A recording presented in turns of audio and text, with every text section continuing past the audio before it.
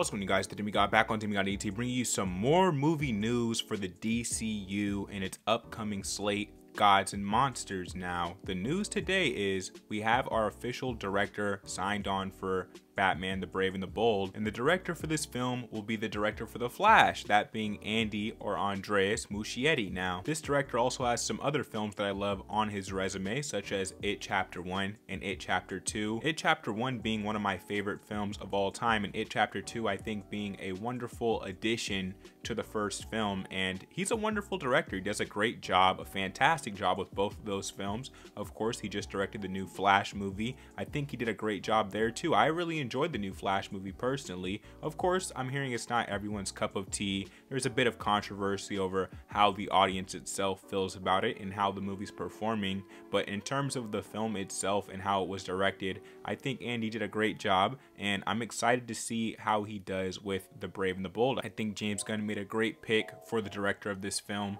I expect it to be, you know, whimsical and fantastical and a little over the top for a Batman movie. I expect it to be the exact opposite that we got in the Batman 2022 film, where that one's very grounded in reality. The Brave and the Bold should be closer to a comic book accurate Batman, where it's a lot more over the top and it's a lot more levity and fun inside the film, while still remaining dark considering this is a Batman movie now. Batman is my favorite superhero of all time, so I'm really looking forward to this film. I'm always accepting of new takes on the character. I like the classic Michael Keaton Batman 1989. I also like Christopher Nolan's The Dark Knight played by Christian Bale. And I like Robert Pattinson's new take on the character. And I also enjoyed the DCEU Snyder take on the character of Batman. So to be honest, as long as it's done well, I'm a huge Batman fan diehard Batman fan, my number one hero. And that's the news for today, guys. Andy Muschietti will be directing The Brave and the Bold. Let me know your thoughts on this discussion down in the comment sections down below. If you don't know my junior on you get to do commentaries, reactions, reviews, and movie news. So if you're interested in that, you're in the right place, man. Hit subscribe, hit the like button. I drop multiple videos a week on the channel, so you can expect out of me. And if you don't already know,